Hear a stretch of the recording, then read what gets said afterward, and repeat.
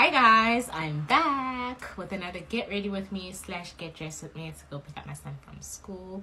Um, today I really don't feel like dressing up, to be quite honest. So I feel like I'm just gonna wear a dress and sandals and keep it going. So as so I'm just gonna go with this little this little cute summer dress from Mr. Price, and then okay here is the dress and then for shoes i'm doing these the Fix sandals. And then any jewelry?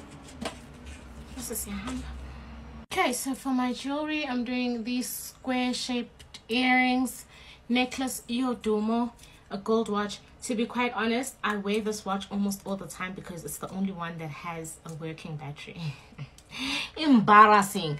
Anyway let us do our edges and pick the fragrance for the day. Perfume of the day. Jimmy choo inspired perfume from umbali. I will tag her. Tenga, 200 rand for 50 mils.